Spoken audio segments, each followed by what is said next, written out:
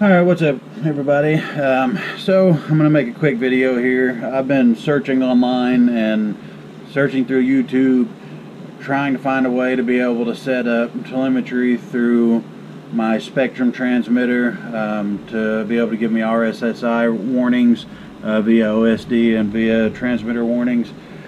Um, so I finally uh, finally got enough information where I was able to get this complete and hopefully this video will help uh, help out help a lot of people out because I know there's been a lot of question about it and I haven't been able to find the information available by anybody. So I'm gonna go ahead and put this out there. Um, almost seems secretive. So let's get this shared so people can get this function on their on their equipment as well. So here's my Armattan Chameleon.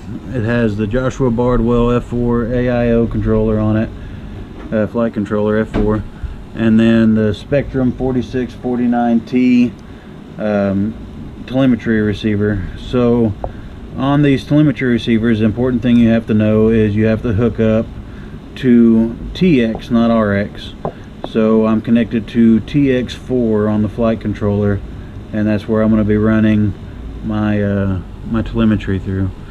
On the regular serial based receivers they have to be through RX not TX but on the telemetry receivers you can run it through RX you won't be able to use telemetry but if you run it through TX you'll be able to run telemetry. So we'll go over how to set that up in Betaflight so before I connect uh, real quick on a safety note anytime you're going to be using any kind of power or I try to and generally if I'm going to connect to Betaflight to remove your props um, I did have an exciting episode earlier today I was actually updating my serial um, receivers via Horizon's um, desktop app. And uh, when I went through the update process I had my props on didn't even think about it on there and they wound up spooling up and it shot halfway across my desk. So um, again anytime you're going to hook to the computer I would say that it's a great idea. Just go ahead and pull your props off. It only takes a couple minutes. A couple minutes can save you a gash on your finger or, or worse um, or keep you from busting props. So um, no harms no injuries here but um, just lesson learned. Uh, so anyways let's go ahead and get into into Betaflight here. I'm gonna go ahead and connect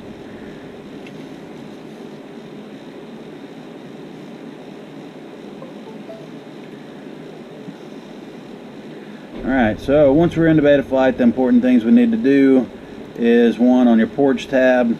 Again, for the UART you're using on the TX, I know it says RX here, but you're using TX for using telemetry. Uh, make sure that UART is turned on on serial RX. Um, then save and reboot. And then we'll go to configuration tab. And we're going to scroll down and you'll see here um, I'm currently set to serial based receivers Spektrum, S-Bus SUMD and then for Betaflight versions 10.3 and newer is Spektrum 2048 SRXL for 10.2 and older is going to be Spektrum BIDIR it's bi-directional um, your RSSI signal strength here make sure this tab is off. And make sure you turn telemetry on. Alright save and reboot. And then we'll go over to the receiver tab. So here you're going to make sure you're set to Spektrum Graupner uh, JR which will put you on TAER 1234 and then you're going to go to your RSSI channel right here. I know this might be difficult to see guys um, but right here on the side um, you want to set that to an auxiliary channel that you're not using. So if you know you're using one two and three for any of your modes make sure you set it to an auxiliary channel outside of that parameter. Um, if you're using a DX6 you might be using a channel, um, auxiliary channel for um, for arming and disarming and another for changing flight modes or for other various settings that you can put it towards. Um, so you'd be limited to, to three extra auxiliary channels. So just make sure that you set it to a channel that's not being used on your controller. Um, so once that setting's there, save, and we'll move on to OSD. So on your OSD, you just want to make sure you turn the RSSI value to on. And that's it, guys. I mean, that's simple. It's safe. Alright, so currently I'm running the IX12. Um, super simple to set up. I know process is pretty much the same on other other Spektrum products. Um, so what you want to do is you want to go into model setup and then you're going to go to telemetry. And then I ran an auto config gave me RPM volts temperature flight pack.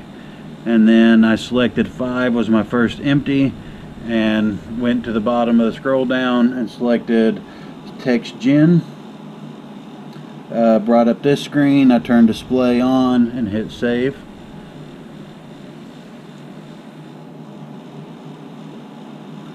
then after that you want to go down to the bottom and go to channel assign.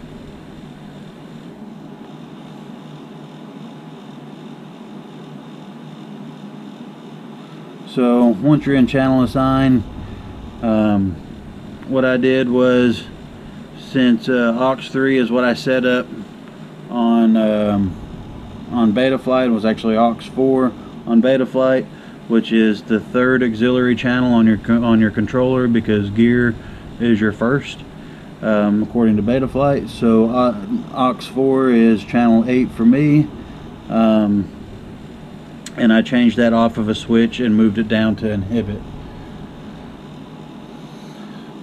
So um, also if you go into the port assignment you can see here aux3 for channel 8 okay.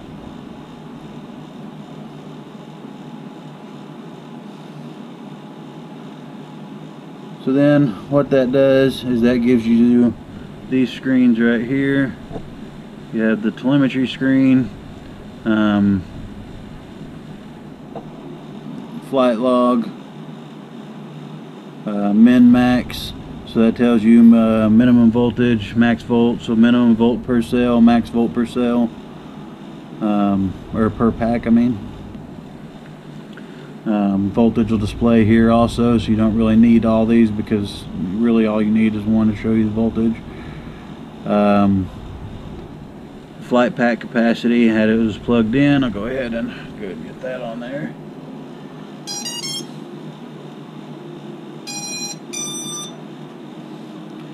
So you can see here um, capacity is capacity drawn so that's what's coming off of it. Current burn is uh, 0.4 amps or 400 milliamps.